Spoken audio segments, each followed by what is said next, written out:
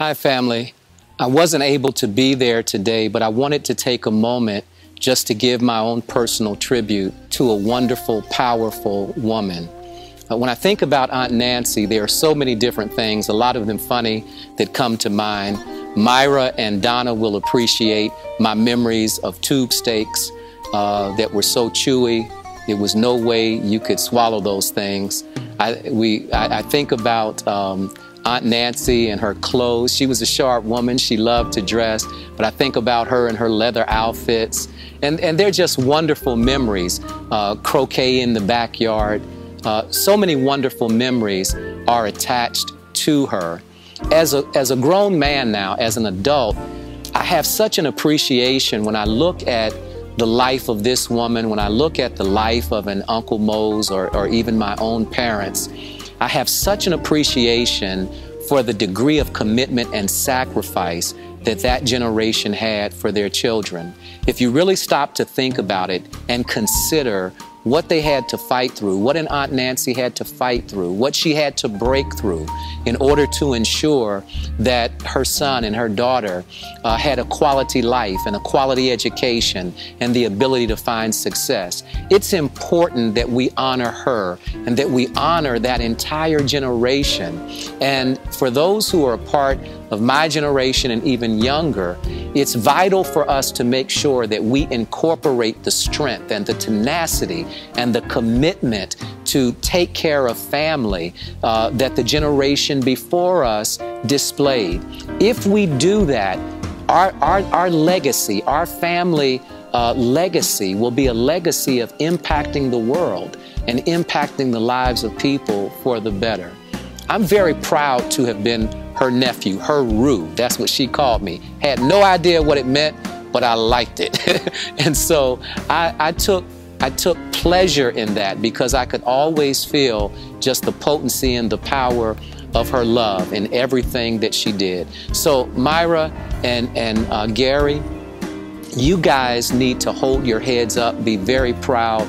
You had a strong mom. She was a sacrificial mother and, you know, celebrate that. Thank God for that.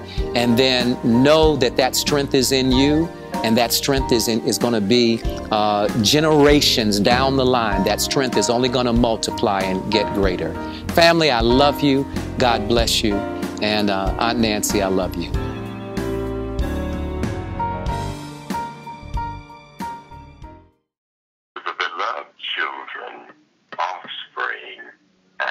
entire family of our beloved sister Turner. I have remarkable memories of days now gone when I served as pastor of the Turner family. I remember Mrs. Dorothy Turner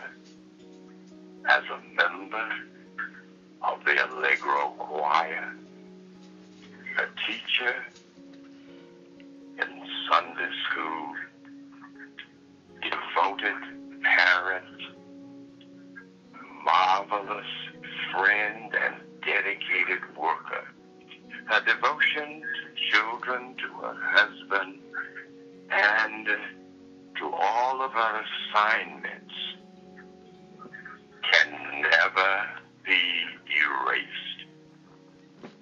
Thank God every day, each of you, for all that she meant to each of us and especially to her children.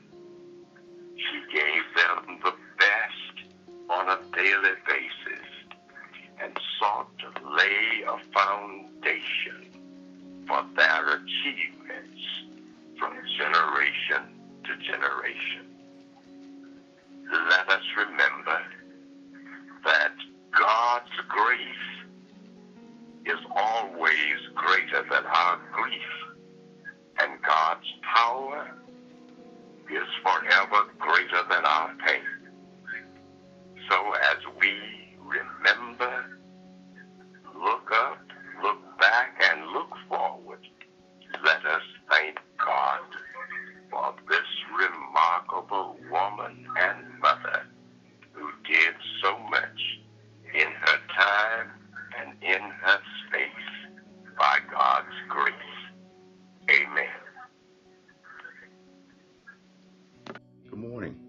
sending this video tribute out to my late aunt, Dorothy Turner, better known as Aunt Nancy.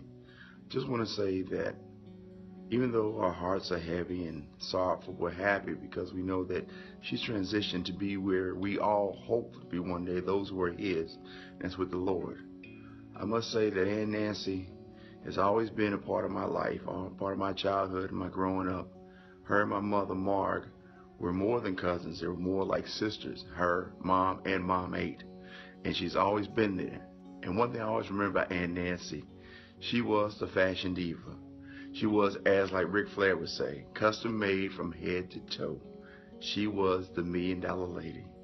But the thing is, what we can rejoice in is knowing that as in Corinthians 12 and 9 says, the Lord says, my grace is sufficient and it will keep us. It will keep us through these tough times, these time of loss. But yet, though we're saddened by the loss, we're happy by the rejoicing, knowing that she had given her life to Christ Jesus a long time ago. And therefore, she's resting with him. She's sitting at his feet, there with all of our family members, once again reunited, and knowing that we who believe in Christ Jesus and give our life to him will one day rejoin and rejoice with her in the heavenly by and by.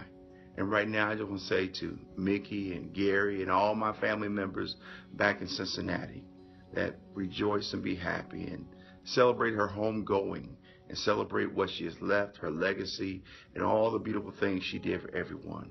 So once again, not so long and not goodbye, but until we meet again. And Nance, love you.